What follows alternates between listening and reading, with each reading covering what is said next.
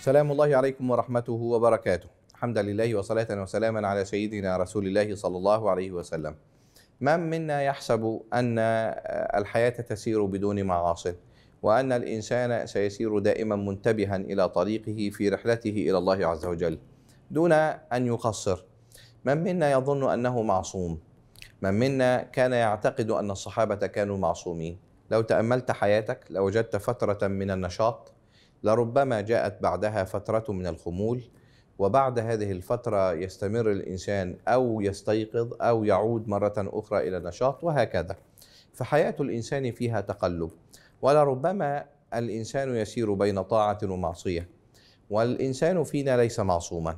كذلك كان أصحاب النبي صلى الله عليه وسلم هم لهم العصمة في الإجمال لكن كم منهم من يقع في المعاصي؟ بعضهم شرب الخمر بعضهم ارتكب المعاصي بعضهم وقع في بعض الكبائر.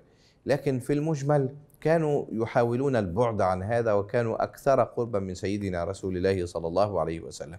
ومع ذلك أحدهم سار في الطريق في أثناء سيره في الشارع رأى امرأة على الجانب الآخر من الطريق. ألقى الشيطان في قلب كل منهما أن الآخر ينظر إليه يعني هو يسير في طريقه نظر فإذا امرأة على الجانب الآخر وهي نظرت فرأته أخذ ينظر إليها وهي تنظر إليه وألقى الشيطان في قلب كل منهما أن الآخر معجب بصاحبه هو بيقول إن هي معجبة بيا هي بتقول فلان بيبص لي معجب بيا ظل يمشي على هذه الحالة حتى اصطدم بنخلة. فأصابته بشج في رأسه. شج يعني دماغه اتفتحت. لما سأل منه الدم أفاق. ثم قال لنفسه والله لن أمسح الدم حتى آتي رسول الله صلى الله عليه وسلم. وظل الرجل يسير إلى مسجد سيدنا رسول الله صلى الله عليه وسلم ليسأله عن حكم ما حدث. ماذا أصنع؟ وكيف أتوب؟ وكيف أطهر نفسي؟ لما وصل إلى المسجد كان وقت العصر. فتوضأ وبالتالي غسل وجهه توضأ لصلاة العصر وصلى العصر مع سيدنا رسول الله صلى الله عليه وسلم.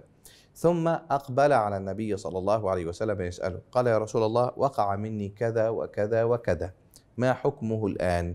سأله النبي صلى الله عليه وسلم هل صليت العصر معنا؟ قال له نعم.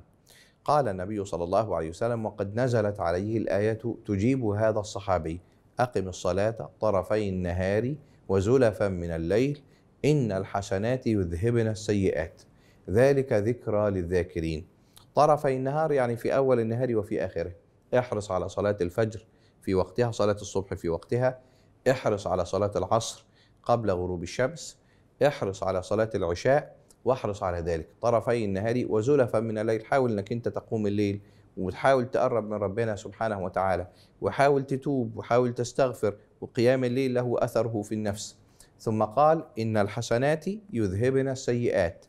الفعل الطاعة بعد المعصية يذهب المعصية. أنت اخطات بسرعة تقرب من ربنا سبحانه وتعالى.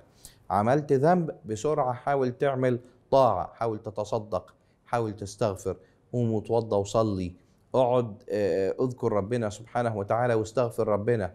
اعمل لنفسك مجلس للصلاة على النبي صلى الله عليه وسلم. يعني اقعد صلي على سيدنا النبي صلى الله عليه وسلم لأن هذا بمنزلة الاستغفار.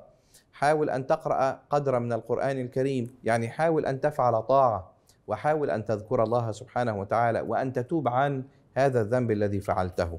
قال الله تعالى إن الحسنات يذهبن السيئات. ذلك ذكرى للذاكرين. كما قال النبي صلى الله عليه وسلم في الحديث وأتبع السيئة الحسنة تمحها عملت ذنب اوعى تقعد وقاعد ساكت وساكت بعد الذنب ومستني ومش عارف اعمل إيه.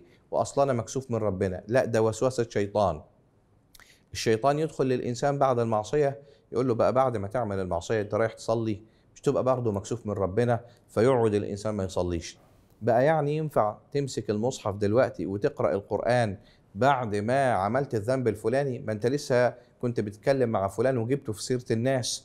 بقى بعد ما اتخانقت مع فلان وتلفظت بلفظ لا يحق لك ولا يصح ولا يجوز تقوم تقعد تذكر ربنا فيقول الشيطان للإنسان يقول له أنا مكسوف من ربنا. هذا ليس كسوف هذا ليس حياء إنما الشيطان بيحاول يبعدك عن الطاعة علشان يفضل الذنب موجود. إنما لو حضرتك مكسوف من ربنا صح تروح وتقبل على الله عز وجل فتتوضى وتصلي وتستغفر ربنا وتصر على فعل الطاعة وتسأل الله عز وجل الهداية والمغفرة والقبول. قال الله تعالى إن الحسنات يذهبن السيئات ذلك ذكرى للذاكرين.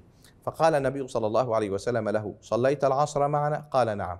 قال إن الحسنات يذهبن السيئات. يعني أبشر بأن الله تعالى غفر لك هذا الذنب الذي فعلت.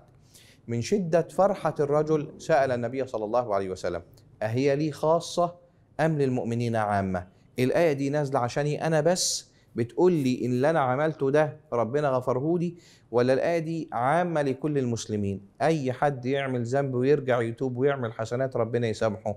قال بل هي للمؤمنين عامة. أيها الناس أقبلوا على الله تعالى بقلوب خاشعة ضارعة أسأل الله عز وجل لي ولكم التوبة والمغفرة والقبول والهداية وصلاح الأحوال وأن يذهب الله تعالى عنا سيئاتنا وأن يعفو عنا إنه سميع قريب مجيب الدعاء. أستودعكم الله. سلام الله عليكم ورحمته وبركاته.